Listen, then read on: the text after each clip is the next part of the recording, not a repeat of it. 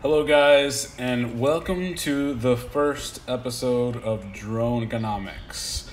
So, now that the HDOs have been released, reviews are starting to come out, something is happening to the prices of all the other Fat Shark goggles out there.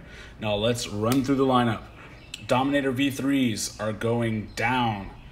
HD3s are staying about level, but the coveted HD2s have now been going into the realm of being more rare than vintage, hard to find Jordans. Now, these aren't the most rare Jordans ever.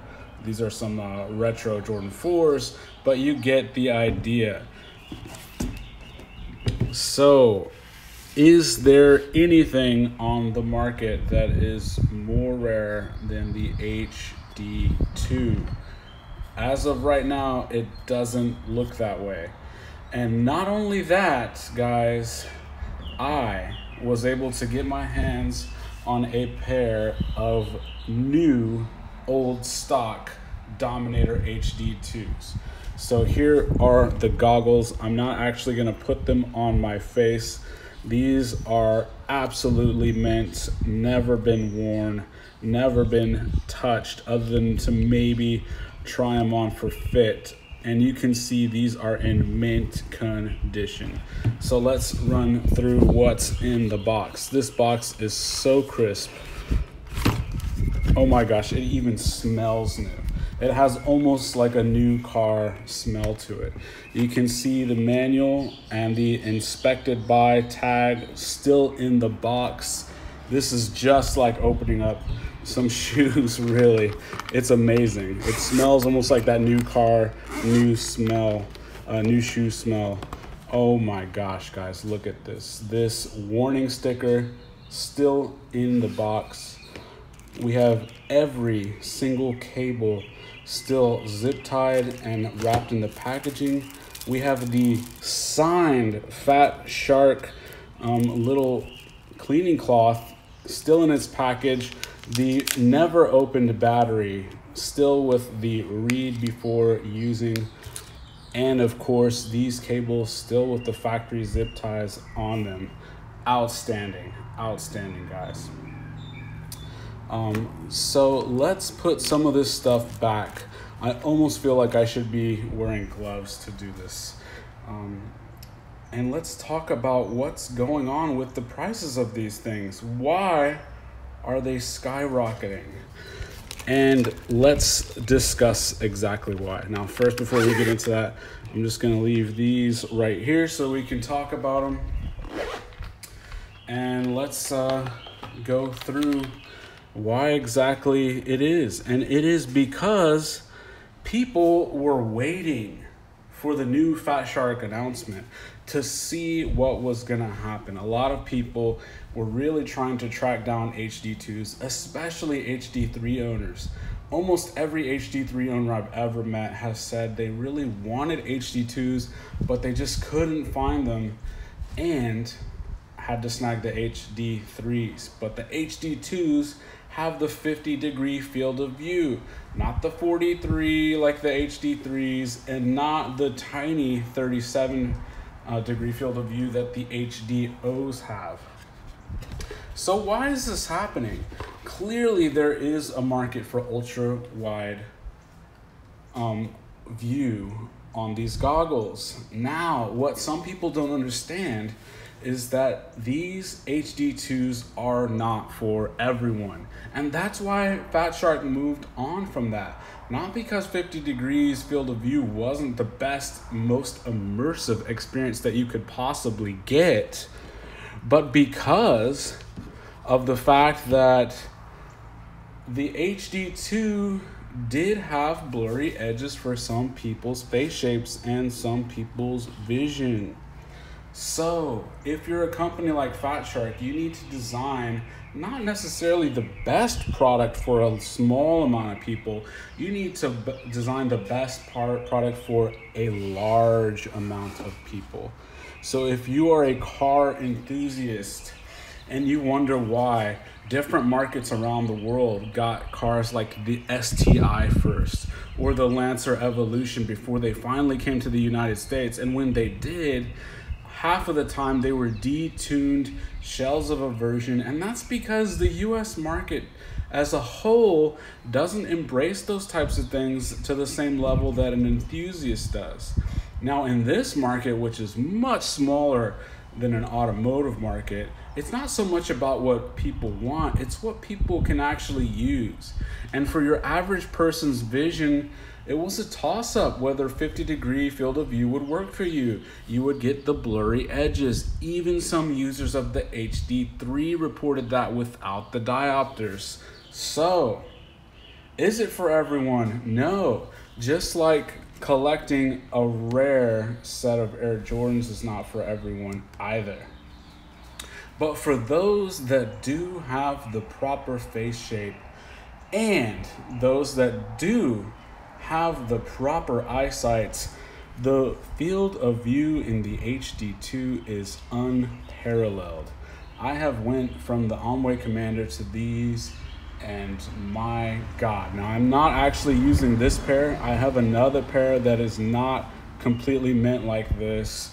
Um, this is actually the pair that I'm actually using. Um, and they're in also pretty good shape, but they're not 100% never used completely mint. Now you do see I'm using the Relay CC triple feed patch with the Furious FPV True-D 3.6. I'm about to upgrade this to 3.7. So what does this mean for you? It means if you want a pair of HD2s, you need to buy them now. The prices are absolutely skyrocketing. I've seen three pairs of these go on eBay in the last week. Goggles only. Granted, they were also in very similar condition, like very near mint. Um, I've seen three of them go over $500. Um, and I have, there's another auction currently on there that has a buy it now price with a module granted for $650. That is substantially higher than the HDOs, but that's because you can buy HDOs. These you cannot, and getting an unused new old stock pair is virtually impossible. I don't even understand how I came about getting these. Now, people in the Facebook groups are starting to gripe at people who are charging fairly reasonable prices. There's a guy, Matt, with a pair for sale right now, and there's just a firestorm of comments going on because people think that it's overpriced. Now, he's charging what I consider to still be a low price of $500 for the HD2, but he's including a specialized battery cable to allow you to run any LiPo. He's also including uh, in the goggles installation module with the uh, LaForge um, receiver in there. So if you factor in those two things, that's a value of about 120 or 130 dollars. So really, he's only charging about 370 dollars for the HD2s, and his are in good condition. That is actually a deal. So if you're not an HD2 buyer, then this doesn't really affect you. Don't worry about it. Let the market go where it's going to go.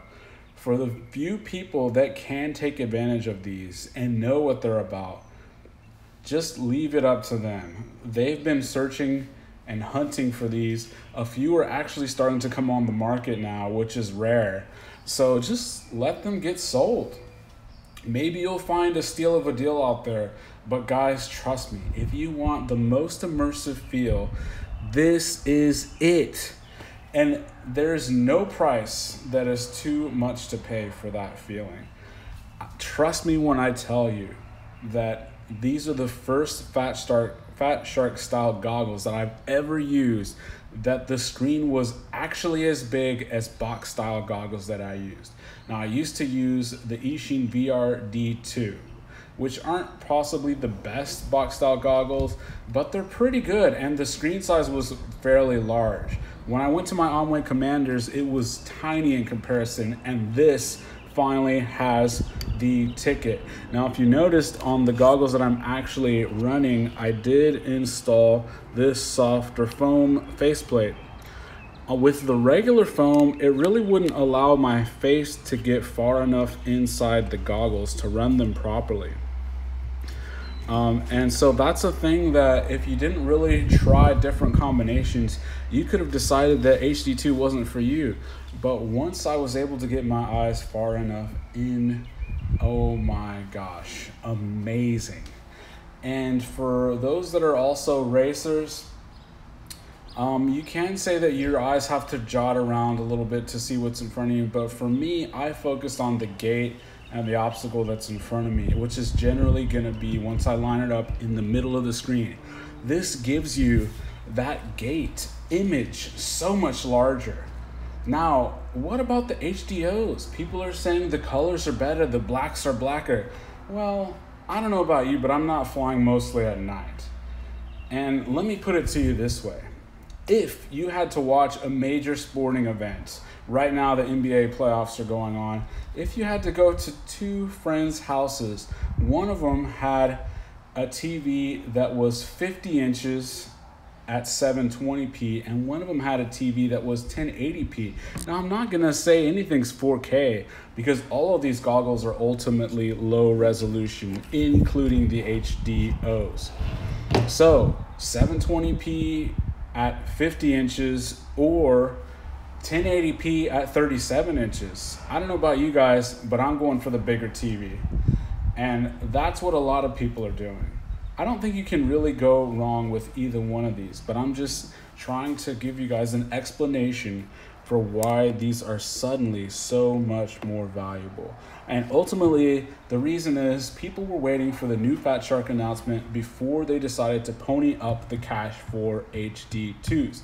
They wanted to know if it was going to be an OLED with 45 degree field of view or who knows, maybe even 50 degree field of view. People, the prices on these would have tanked if that would have happened and everyone would be getting HDOs. The community would not be so split. But that's not what happened.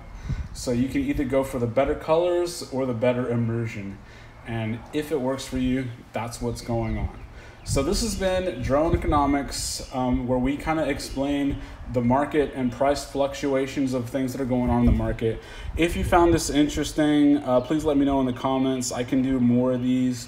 I have an MBA, so I really kind of like to study the price movements um, in a lot of things, especially in this hobby. And it's, it's very fairly easy to see those in an instance like this. Thanks a lot, guys. Have a good one.